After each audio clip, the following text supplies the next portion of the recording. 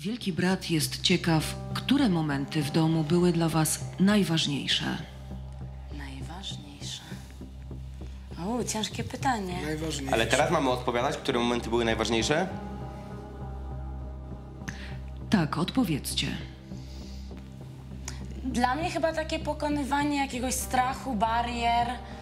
Mm, no i spędzanie czasu z moją nową rodziną. Z- Nie wiem, jak, który mógłby być najważniejszy.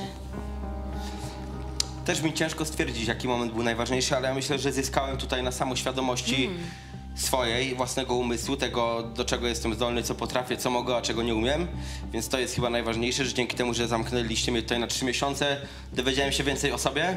A, a momentem najważniejszym, kurde, mi się wydaje, że jak dostałem kontakt ze światem, czyli życzenia od swojej rodziny na święta, to był taki moment, gdzie wiedziałem, że jest wszystko ok na zewnątrz i ten moment jako, jako taką informację ze świata zewnętrznego chyba uważam za taki, który trafił do mnie najbardziej.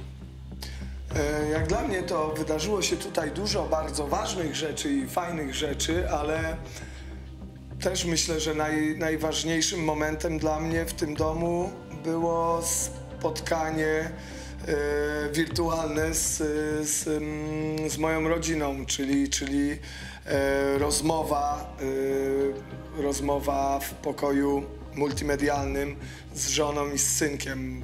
Najważniejsza wiadomość, jaka od nich mogła paść, to to, że wszystko jest w porządku, więc to chyba było dla mnie najważniejsze.